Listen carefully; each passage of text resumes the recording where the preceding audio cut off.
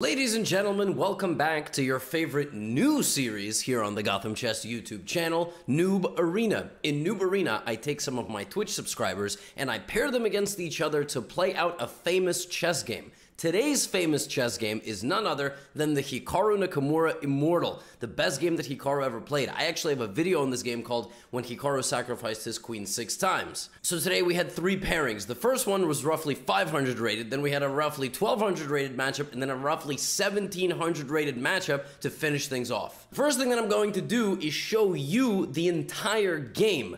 After that, you're going to watch how all the other players handle the position. All right, without further ado, let's check out Boris Gelfand versus Hikaru Nakamura from 2010.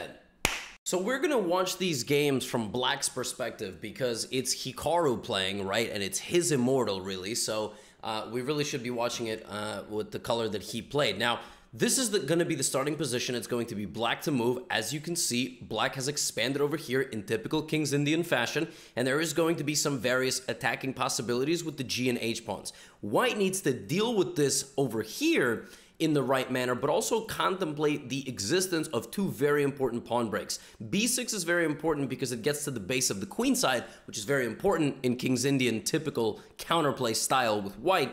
And d6 is very important because it clears out the d5 square for the knight. You're going to see that motif throughout. And also the knight can get into d6, which means the bishop can get into c4, and the position starts flowing like water. Now, uh, I had some feedback in episode 2 to show the whole game. Prior to that, no problem. It was a King's Indian defense.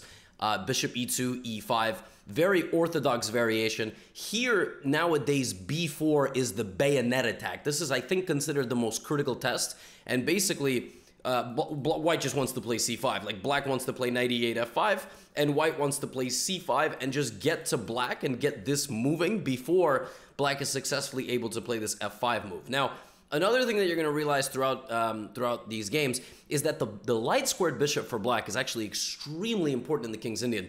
You'll notice that in the starting position, it still hasn't moved, yet it serves a very, very, very important purpose. If this bishop was not here, it would be much harder to attack because white has very good control of the light squares on the king side. So that c8 bishop is a is a beast, and these knights oftentimes would love to swap off for that bishop. Um, I have a neighbor who lets their tiny dog out and it just barks the entire morning. I know you can't hear it. I'm not saying you can hear it. I can hear it, and I've been hearing it for an hour. You would think that the neighbor, over like the years that they've lived in that house, would just stop letting their dogs stand on the balcony. Dog's like 10 pounds, just barks at everything that moves. So frustrating. Anyway, rant over. So the game proceeded with both sides clashing, right? Black getting to the king, white getting on the queen side. And Hikaru uh, did a very nice job of balancing the counterplay of like preventing Gelfand's counterplay with also doing very typical King's Indian stuff. Like these knights would either come in like this or rotate backwards and give access to the queen to go to h4.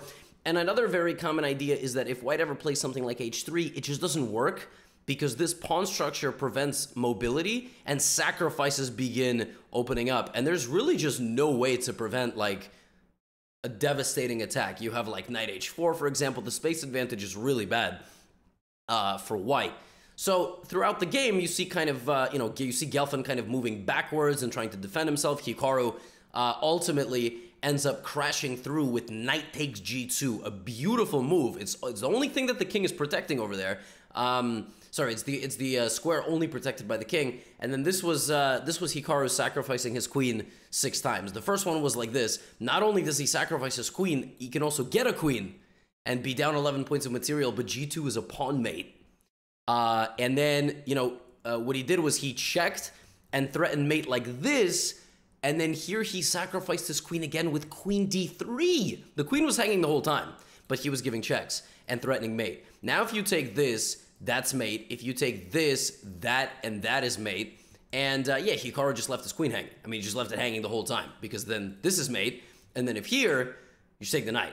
So Hikaru sacrificed his queen a bajillion times and ended the game uh, in this position uh, where he is just up a knight and white has absolutely no play, and for that reason, Boris Gelfand resigned.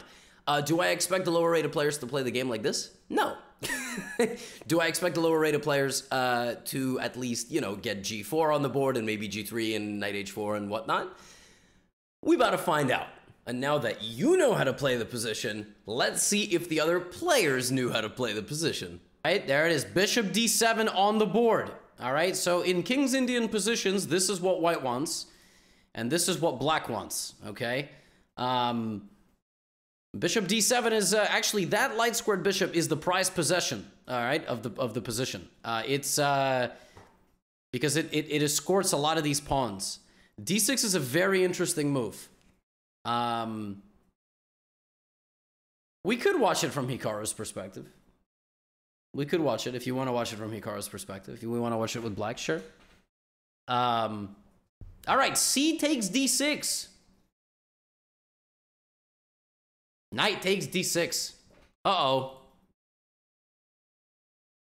That's actually brilliant. I don't know if I don't know if White realizes just how brilliant that move is.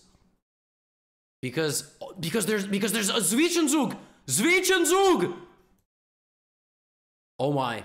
Zwischenzug, you can do this. But oh my goodness, Zwischenzug on the board. Accidental genius from the 600 rated player with black. Amazing. The person playing black, all their ratings combined are 1500. They're like 500 blitz, 600 uh, 500 rapid, 600 blitz and like 200 something bullet or 300 something bullet. Amazing. All right, now the knight is still there. All right, it's pretty pog. Uh, I can't I can't give too much detailed commentary. All right, so now now black is actually winning the game because black has more material. Uh, but black is only really winning the game because this can break through. And if black does not know that, then uh, I don't know what's gonna happen. All right, I don't know. It's about to be the wild wild west out here. Uh, are they not watching my stream and making the moves? No, absolutely not. I mean, it's very obvious if someone's cheating. So, no. No.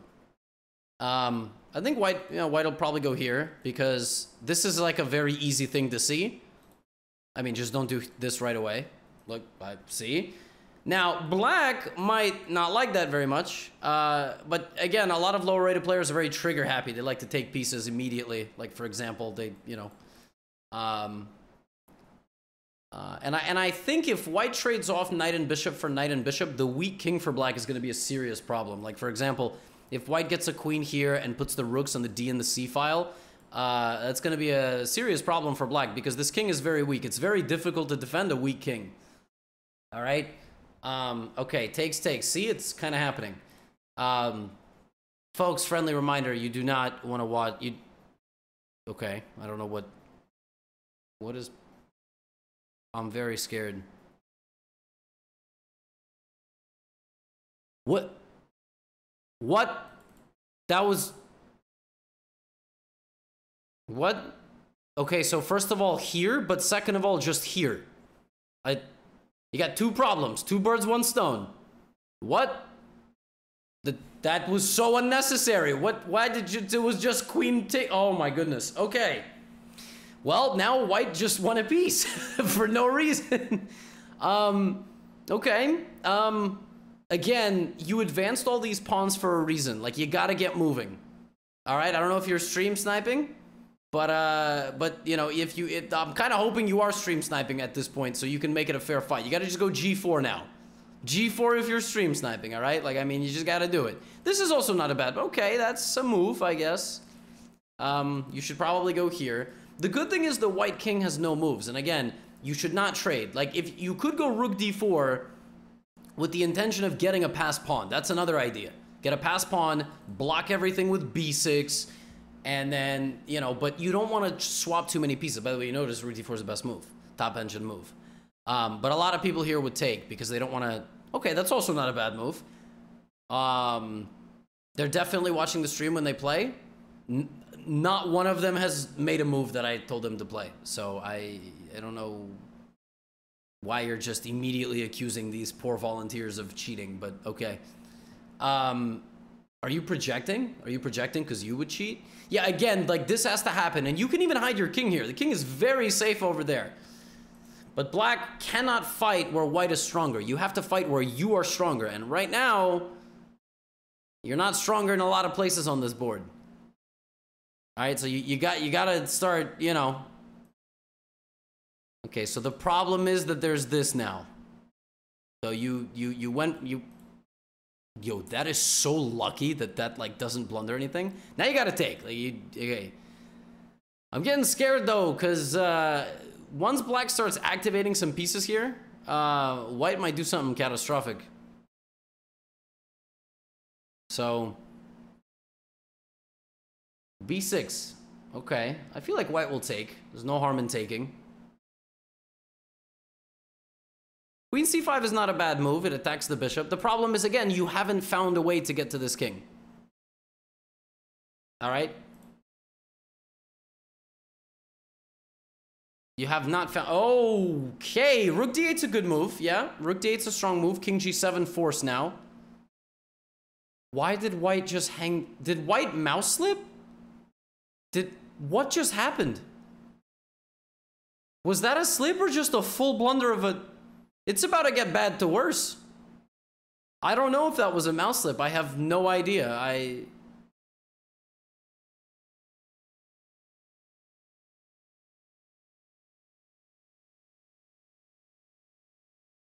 I mean, the knight is hanging.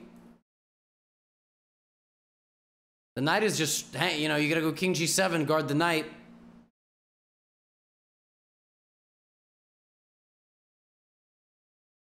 Yep, good move. The knight has been protected. Yep. Now, now, now, right, but now white is winning apparently. Oh my god, white just gotta give checks now. Give a check. 10 seconds, just give a check. I mean, you just gotta move. You got seven seconds. There you go. All right, here, here, uh, queen h8. Oh my goodness. Queen, oh my, oh my. They have bonus time. They have bonus time. No one's gonna lose. Just make a move. Don't flag. Are you crazy? What are you doing? Oh my gosh. Oh my gosh, king f7 loses the queen. That's the only move, right? That's the only move. There's no other move. King f... Oh my, this is unbelievable. Black has lost the queen. That is... Take the queen. Take the queen. Take the... Take the... Oh my. Oh, repeat. Oh, it's... That's... It's... It, it, oh, oh my. Oh my. Oh, okay, okay. Now it's queen versus bitch. Oh, this game is not over, guys. oh, I thought he was going to take the other pawn. Is this a defensive fortress, guys? I think this is just a... I don't think there's any way white can win this. I, guys, I, I, think this might just be a draw. I, I don't know. Now, of course, to actually win this with white, you need to, like, get at least one of the pawns. Like, check, and then here, you know, queen d5, and... But but it's not... Oh, oh, oh, there you go. I think white's going to win now. White's in the driver's seat. There we go. Snap the pawns off. Are, uh, good, good, good. Nice. And now white just has to make a queenie, and white's just gonna win. Just take. All right, white. Okay, now you can't push anything. Oh, boy. All right, three seconds. I have, if white loses on time, I'm gonna be so mad. There, there it is. White has realized that they can push the pawn. Black is down to six seconds. What a battle. What a battle here between these absolute gladiators. Bravely stepping into the arena. White pushing the pawn confidently. White can push the pawn twice. That's almost stalemate. Oh my gosh, that would have been insane. Is he gonna win the pawn? Just to... Uh, is he gonna stalemate? Oh, there, there, he's so lucky there's no stalemate. That's it. There it is. Boom. Up. Up. All right, now you, you get like a million mates. There we go a tense victory ultimately decided by the player with the white pieces. Um, yeah, so obviously that is not how the game went. Um, uh, we we talked about how the game went in the intro of the YouTube video. We will talk about how the game went on Twitch after all the games are done. Uh, yeah, White actually crashed through in the middle, uh, but Black hit them with this nice tactic. And here, the, I mean, basically, Rook D8 was obviously just a clean blunder the way that this position would have been ultimately decided by black is um, like you would have played something like bishop d4, rook d1 attacking, right? And then you can either try to continue the attack over here, or you slowly but surely have to kind of defend your king from any danger and uh, and then rotate your pieces to the queen side because you just have more pieces. You have four pieces playing versus three. But obviously that's not that's not what happened in the uh, you know, in the in, in the actual uh, game between Hikaru and Gelfand, and here Black lost a full piece uh, and did not recapture. And then white just went insane. And then here, for some reason, instead of following the yellow brick road and always looking for checks, black uh, just went bananas. And, uh, well, white went bananas right back, and black went, everybody went bananas, and, uh, you know, everybody lived happily ever after. All right, so the lowest rated folks were obviously super nervous. The game was absolutely crazy, unpredictable. There was all sorts of blunders. But as we move up the rating ladder, the 1200s actually began the game almost the exact right way it was supposed to be played. Let's see how they did.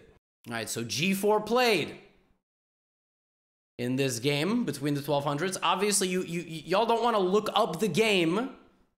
Okay? Y'all don't want to look up the game all right, so at this point, you want to mute the stream. You want to mute the stream. You want to don't don't look don't look the game up. You're on your own. One of you is Boris Gelfand. One of you is Hikaru Nakamura. One of you challenged for the world championship match once. All right, one of you is the most successful chess streamer of all time.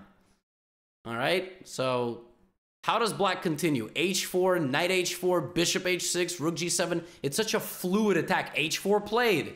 All right, trying to play H3. How is white going to deal with this? Is white going to play B6? All right.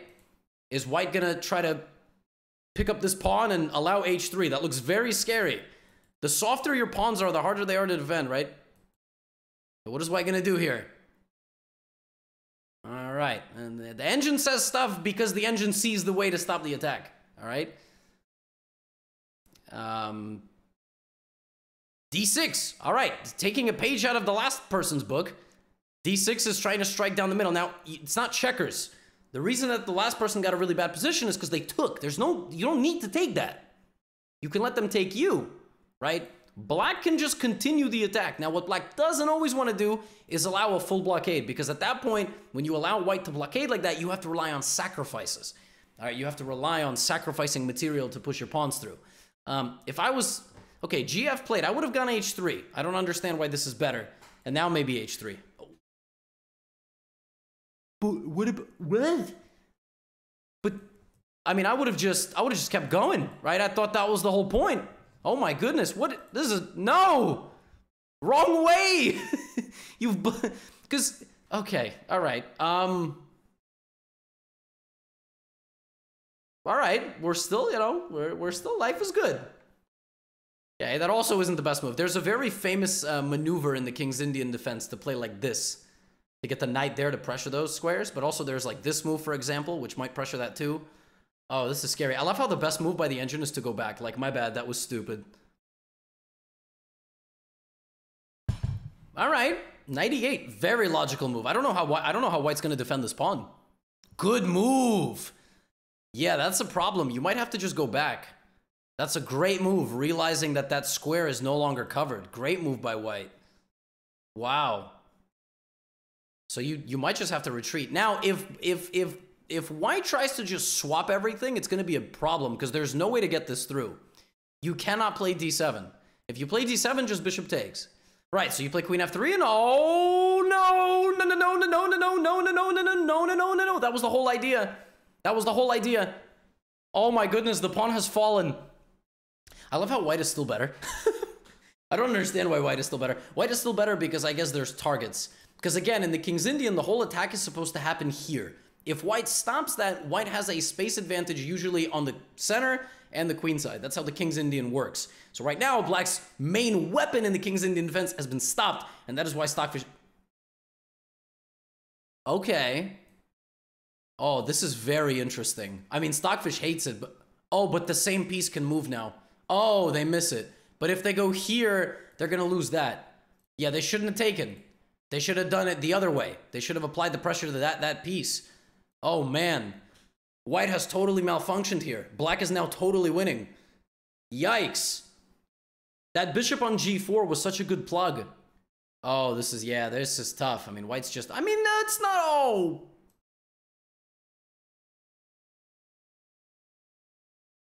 Ah, this is convincing. Convincing win by black now. Oh, Tough. That was actually, I mean, White played very well, but don't resign. Never resign. Why resign? Go here. If you trade queens here, you're crazy. Good. Queen g3 here is strong by black. Queen g3 is very nice. Because it, uh, it gets very close to the king. You threaten this, you defend your knight, you threaten a queen trade. Queen g3, I would, I would probably play queen g3. Um, I think it solves a lot.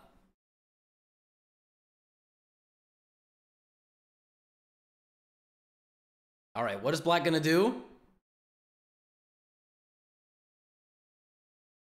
Knight f8. All right, rook c1 is interesting here. Rook c1 is is definitely a move. Of course, black could go here, which is kind of a bummer. I mean, when you play against the someone who has so many pieces, eh, somehow everything guards everything else.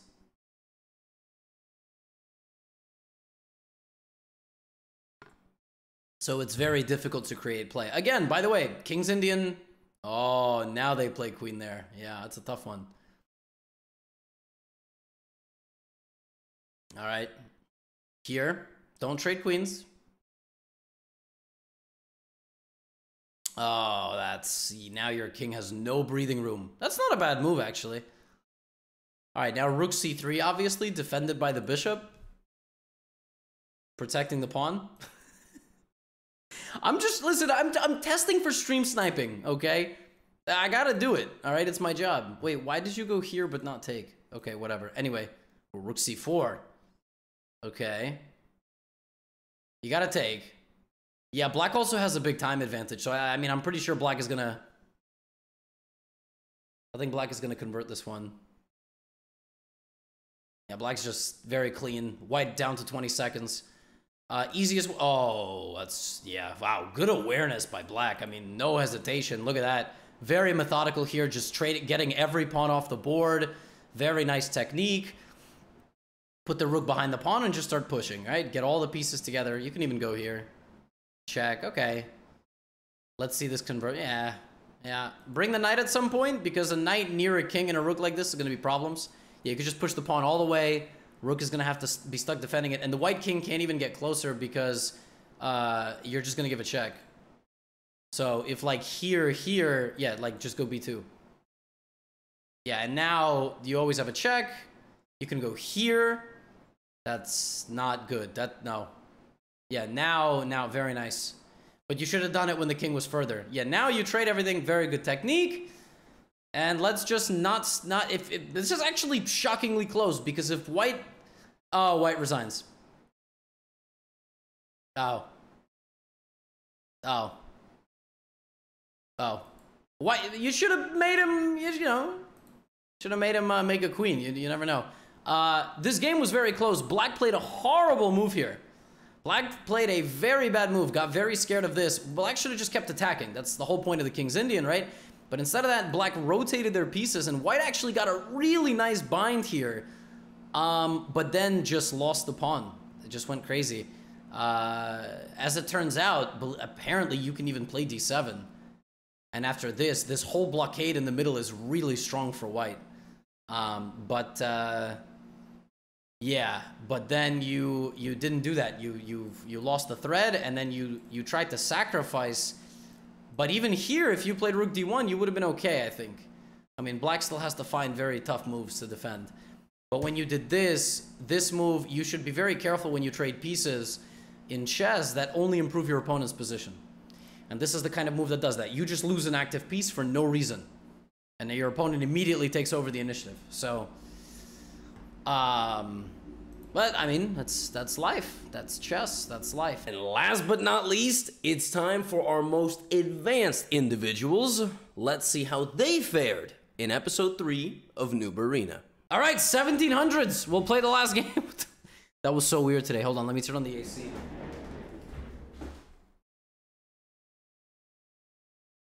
All right, it's hot in the room. We got G4 on the board. Oh, oh. This is already different than the other games. G4 takes takes. This is apparently the only way forward now.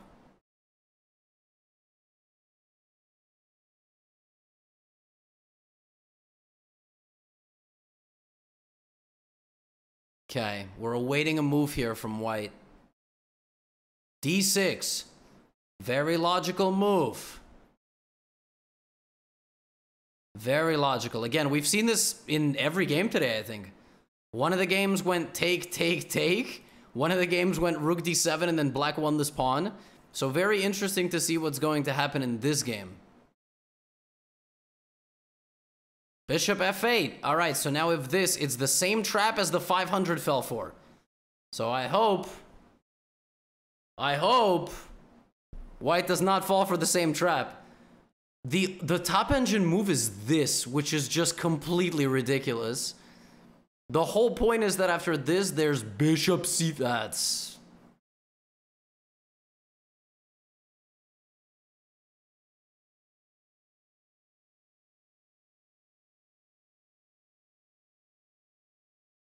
All right, white is thinking.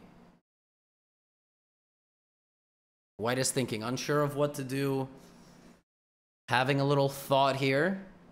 Tough position, obviously. Again, white should not be too worried about losing this pawn. King h1 played. So black is gonna... What? I thought the whole point of this was to... Now white actually can go here. Oh my god, what is this? Bit... What is bishop takes a7? What? That was so weird. Why was just losing the bishop on a7 the top computer move? All right, you can take e4. You can take d5. d5 has been taken and now white is better. White is better because black lost the defender of the pawn. Oh my. That was everything that... Wait, what is White thinking about here? White's got to go. Don't go here. Because then this. Okay, but but now there's this. White's lost that pawn. And White also lost the... I mean... Sorry. Wow. Okay, sorry, black lost the pawn. Now, now black is losing the kingside attacking pawns, and black is losing the light squared bishop which as I've mentioned is the most important piece in the King's Indian attack. Takes. Oh, black has to go here because if you take that, there's this. And now, I mean, now white has good control of the light squares. Okay, that is not the best move. Now, what does black do here? Zoom, zoom. Here, here, here, here, here. I mean, just start firing on all cylinders. You gotta just use your pawn barrier and then just defend d6 successfully. Uh, because white is not going to play these top engine moves. And white is immediately worse. Immediately worse. This is never happening in a million years. White is going to play rook e1, which is very natural. All these moves are very natural. a6, b6. These are the moves that white is going to play. Um, black has a very simple game plan. Bishop e7, king g7, rook h8. Those are black's next three moves, pending, you know, something. Rook f3. Uh-oh. Uh-oh. Uh-oh. Obviously there's this, but... Uh-oh. Uh-oh. And black has a monster time advantage as well. Wow. Okay, that's also a very good move. Now just be careful. You never want to gallop in like this. Nice. Queen should go here now. That's what you should do. Is there also rook g1 here? to like get there. There's literally just a mate lurking in this position. Uh, yeah, Cormac's playing a, a bit too slowly. Oh my. Oh, that is a trappy move. You could play like Queen f5 here. Queen f5 is a very good move for black. Because after you trade queens, you just have a very easily winning endgame.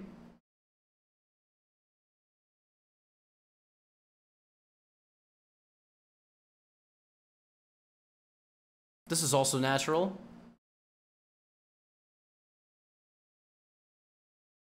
All right, black thinking of the best way forward, taking a long, nice think here.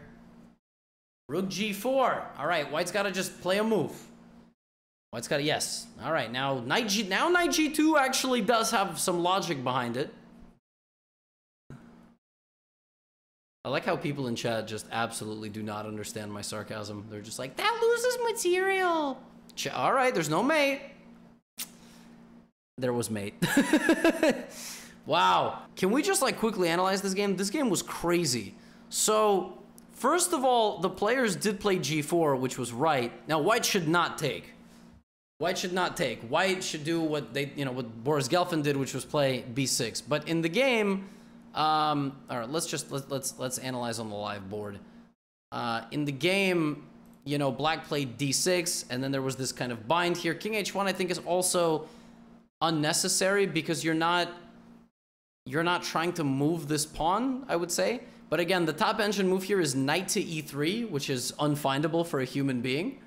Uh, and the point is that if this, there's bishop c4, and you get the rook with an attack, if you don't take the knight, then, like, let's say you play like c takes d6, then white goes here anyway, and if you prevent that by playing the move bishop to e6, then white apparently takes the pawn on g4.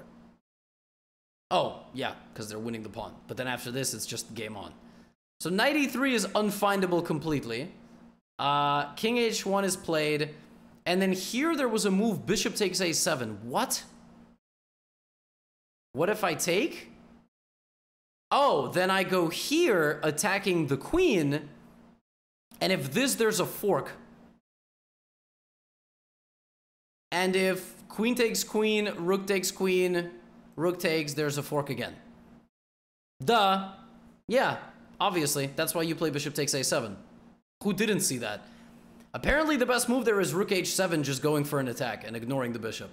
And if the bishop goes back to g1, you play f3.